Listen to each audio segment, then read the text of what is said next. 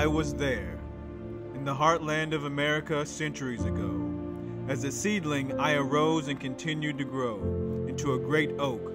I suppose I was 60 feet, 70 feet, 80. At my peak, I joined the Navy. Fully grown, I was uprooted from my home and shipped off to become a part of something greater than myself in service to my nation.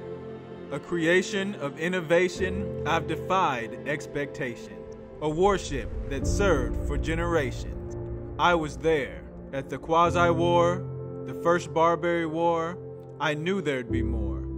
My duty was to defend, but I can't pretend that I wasn't afraid. But this is why I was made. So I sailed and served with pride. I fought so hard they called me Old Ironsides. I was unsinkable. My resilience, unthinkable. I was there, decades later when our country was at a crossroads. Of the original six frigates, I was the only remaining ship. But I didn't stop serving. I was converted into a training ship. I've been a receiving ship, a museum ship. I must admit that it's been quite a trip. I've had some good days and bad days, some trials and adversity, but I've also had many birthdays, milestones, and anniversaries.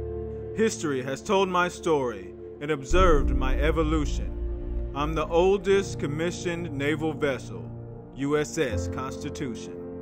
I'm still here. Yes, I'm still in service. I've resurfaced with new purpose. From an oak tree in Indiana to a warship so grand, now I serve in one of the highest offices in the land. USS Constitution, Heritage Desk. If I can make it here, think of what I could do next.